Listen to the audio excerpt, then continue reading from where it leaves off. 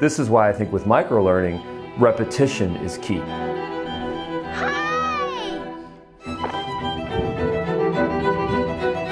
The sky is the limit in terms of the possibilities. Try to make a micro masterclass in one hour. Today we're going to get into a topic that I think everyone needs to hear about. By the time you're finished with this masterclass, you'll have everything you need. Mm. Ways that we can remember the content that we're learning so that we can apply it and we can retain it for years to come. Whether you're making a micro masterclass or a full length masterclass, if you record a trailer for the series, it'll get people to buy it, to watch it. So there's a couple of really interesting movements that have happened over the last couple of years. The first is micro learning, and then on the complete opposite side of the spectrum is master classes. So I'm thinking about cool locations, like on top of this suspension bridge. And because I'm in a cool location, people might notice, they might click, and they might even buy it. I'm making my micro masterclass about feeling comfortable speaking on camera because it's something I genuinely have something to share about. You can be a teacher, share what you know, and you can share it in these bite-sized micro learning segments. It makes it more easily digestible for the viewers, and it makes it easier for you to produce. So a lot of platforms that I've seen for micro learning, there's Blinkist, which is a micro learning site, curated a book, a summary that you can receive every single day. So there's all sorts of caveats that I think come with micro learning. When you learn in a short format, sometimes you forget it and you don't retain the information. This is why I think with micro learning, repetition is key. My goal for this video, by the end of the video, having a micro masterclass. So I got an hour. Now you might be worried about cameras. Our camera is gonna get in the way. I need to buy an expensive camera. No, you do not need expensive gear at all. If you have an iPhone or an Android phone, that's good enough for this task. I would say maybe invest in a lavalier microphone. That's how you get this good sound quality, even though I'm so far away. Then hit record and start going. So who can make a masterclass?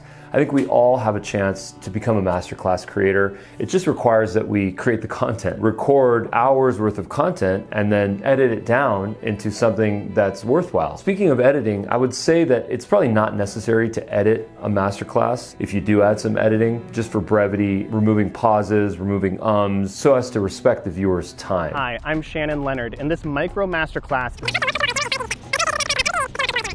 Thank you so much for watching this micro masterclass. Right, I'm done with my shooting portion, so now we have to edit the footage. Now, don't worry, it's easier than it sounds, especially for a micro masterclass. The editing will be easy. The way that we can monetize our content is to be on YouTube and to put our content out there, but at the same time, to create one or more in a series of high value videos that people can actually purchase to watch. Now, these are typically educational training videos, videos that will teach someone a new skill set or how to manage something within their business. There are hundreds, if not thousands, of people that are trying to sell tutorials and video content, training videos. But the key of this video is how to focus on the value and then figure out an easy, very transparent and trustworthy way to monetize the content. The key here is simple. It's a video funnel. Video funnels have historically been called many things. Video landing pages, video sales letters. The way that we branded our pages are Dubb action pages. An action page in our case is a page that has a video on it that has multiple calls to action. So it could be a schedule integration, it could be a form that someone fills out, it could even be a checkout using payments. Whatever it may be, we recommend that you create an action page and have a video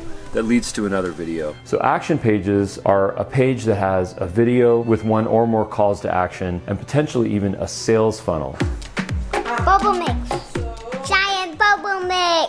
Our whole idea with our, our action pages, our video pages, is to get as much done and at one place as we can. So when, when a visitor visits that page, we have your playlist, we have your CTAs, that choose your own journey. And of course, the ultimate uh, goal is usually to get them to make a purchase. And now they can do that directly from that page. A lot of the times we have like that book button, which is the low hanging fruit. But now we've actually added the option to capture the very lowest hanging fruit, the people that are ready to actually take action right away. Um, and then you can put your PayPal right on that page. So um, it's just right along the, the, the whole method that we have going of taking someone from a place of where they have no idea who you are or what you're selling all the way to possibly a conversion and a purchase on that same video page. Quick update on my micro masterclass. I finished it all within an hour. And, you know, just like Ruben said, the editing can be fairly quick for these type of videos. However, then I got caught up editing this video, the one you're watching now. I personally use Premiere Pro. You can use iMovie or any kind of editing software on your phone to edit out the mistakes and just make it a more pleasant viewing experience. So the Micro Masterclass, it's a combination of micro learning and masterclass. Yeah, so try it for